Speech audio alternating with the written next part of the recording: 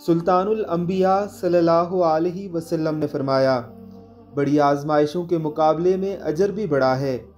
यकीनन अल्लाह ताला जब किसी कौम को पसंद करता है तो उसे किसी मुसीबत में मुबतला कर देता है। चनाचा जो अल्लाह की तकदीर पर राज़ी रहा, उसे अल्लाह की रज़ा मिल जाती है। और जो अल्लाह के फ़ैसले पे नाराज़ हुआ, अल्लाह ताला भी उससे नाराज़ हो जाता है। यह आजमाइशें अल्लाह रब्बुल-इज़्ज़त के चुनिदा बंदों पर ही आती हैं। अगर आप पर कोई आजमाइश, मुसीबत, परेशानी, दुख, तकलीफ़ या बीमारी है तो समझ जाइए कि आप अल्लाह के उन सिलेक्टेड लोगों में से हैं, जिन्हें अल्लाह रब्बुल-इज़्ज़त ने अपनी आजमाइश के लिए चूज़ किया है। अल्लाह हमें समझने की तोफ़ी कता फ़रमाए। आमीन सुमामीन